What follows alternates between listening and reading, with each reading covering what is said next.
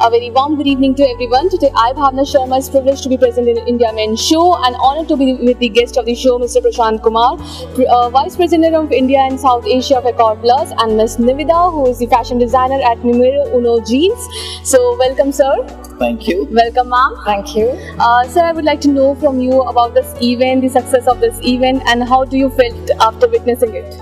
It's uh, one of its kind, actually. I love the fact how Karan was able to bring so many different uh, aspects of a lifestyle. Yeah. And if you look at it as a couple, right, we're a lifestyle ourselves, right? Hotelier and somebody Yeah, who designs clothes. designs. So roti kapda makan kind of a thing. right? So and Karan was able to actually put all of that together Yeah. with uh, with BMW, with Ritu Beri on stage, Yeah. and with Sangram Singh, yeah, studied by Jana Right? So Yeah. really fantastic. What a great show.